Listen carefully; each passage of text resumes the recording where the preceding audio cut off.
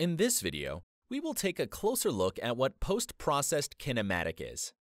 As real-time kinematic, post-processed kinematic uses observations from two GNSS receivers to achieve centimeter-level accuracy. One unit is static. This receiver is called the base station. Another one is rover, and it can move freely. The main difference between PPK and RTK is when the positional correcting takes place. To provide an accurate position in real time, the RTK mode applies all corrections in real time during the data collection. PPK resolves errors after all the data is collected. In PPK mode, there's no need for the connection between rover and base station while you're working.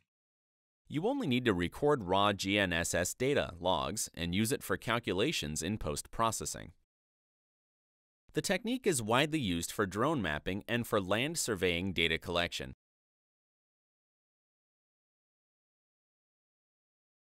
Using PPK for UAV mapping reduces the amount of ground control points you need. This saves you a lot of preparation time in the field and allows working on much wider and more difficult areas. PPK also provides a more reliable and simple workflow because you don't need to think of the constantly stable connection between rover and base. Besides, PPK allows longer baselines.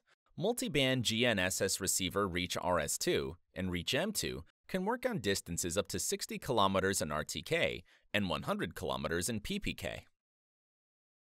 Let's take a closer look at the PPK workflow. You need to have a base station and a rover. Both units should record raw GNSS data throughout the whole work process. This raw data contains all observations without any calculations. After the work is done, the logs from both the base and the rover are downloaded to PC for further post-processing to achieve centimeter-level accuracy. Remember, you don't always need to have your own base station. In many cases, there are local service providers who have their own base recording logs.